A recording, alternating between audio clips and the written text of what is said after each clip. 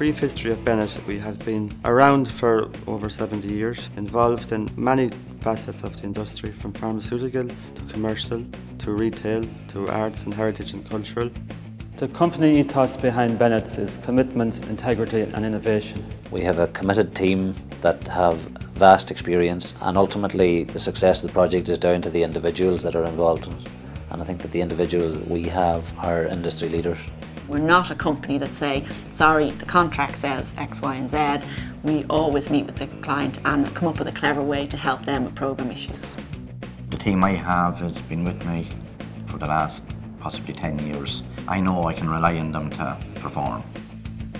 We stand out from the crowd because we analyse the job in depth to give the best finished product that possibly can be given to any given client.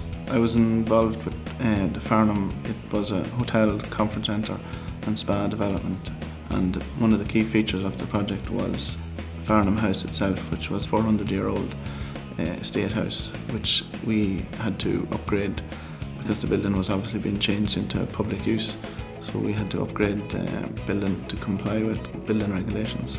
What works for me on a day-to-day -day basis and makes me proud is getting value for money as a company and for my clients.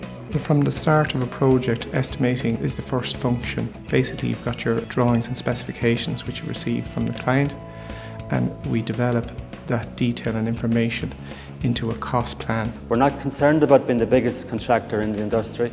We are more concerned about our reputation and being the best. We have a truly uh, unique group of talented individuals within our organisation that can offer a first-class service. We're given a project to carry out and that project has 100,000 problems, we'll say.